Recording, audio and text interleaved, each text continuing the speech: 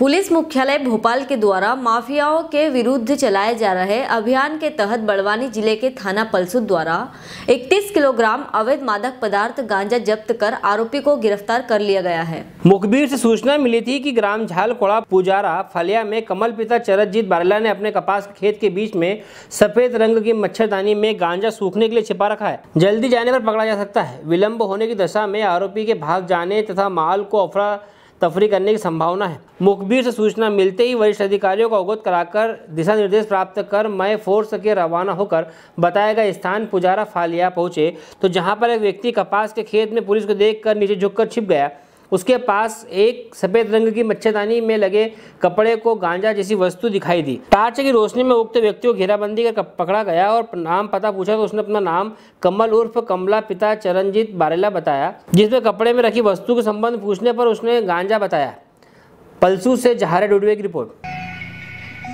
अभी पूरे प्रदेश में अवैध मादक पदार्थ बेचने वालों और उनकी नशाखोरों के की जो सामग्री बेचते हैं, उनके विरुद्ध अभियान चलाया जा रहा है। इस संबंध में श्रीमान पुलिस अधीक्षक महोदय को विश्वसनीय सूचना मिली थी कि ग्राम झाड़कोला में कुछ लोग गांजे की तस्करी कर रहे हैं। श्रीमान पुलिस अधीक्षक महोदय बड़वानी के मार्गदर्शन में और अतिरिक्त अधीक्षक महोदय बड़वानी के निर्देशन में थाना प्रभारी पलसू श्री अनिल वर्मा उनकी टीम द्वारा ग्राम झाड़कोला में सर्च किया, की गई। सर्च के दौरान मुखबिर से उनकी सूचना प्राप्त हुई कि ग्राम झाड़कोला पुजारी फलिया का, कमल उर्फ़ कमला, बारेरा, अपने खेत में अवैध रूप से गांजा बेचने के लिए रखा हुआ है। इस सूचना पर थाना प्रसूत के स्टाफ द्वारा, थाना प्रभारी अनिल वर्मा के निर्देशन में उनकी पूरी टीम द्वारा वहाँ रेड की गई। रेड के दौरान कमल उर्फ़ कमला बारेला को पकड़ा गया। वह अपने खेत में एक मच्छरदानी के कपड़े में मच्छरदानी की जो कपड़ा था उसमें गांजा रखा हुआ था जिसे पूछताछ किया गया तो उसने बताया कि ये बेचने के लिए वो रखा हुआ है। गवाहों के समक्ष पंचानों के समक्ष उसके पास से इकतीस किलो गांजा बरामद किया गया है। उसको पकड़ के थाने लाया गया है। सर कहीं ना कहीं ये गांजे की खेती भी होती होगी फिर।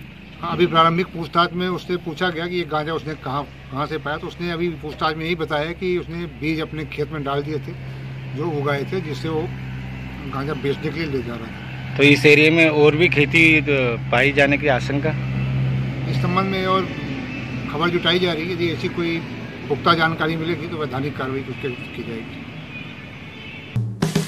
हेलो फ्रेंड्स आप देख रहे हैं हमारा channel S W twenty four news हमारे सारे वीडियो सबसे पहले देखने के लिए आप हमारे चैनल को सब्सक्राइब करें और पास में लगे बेल आइकन को दबाना बिल्कुल भी ना भूलें।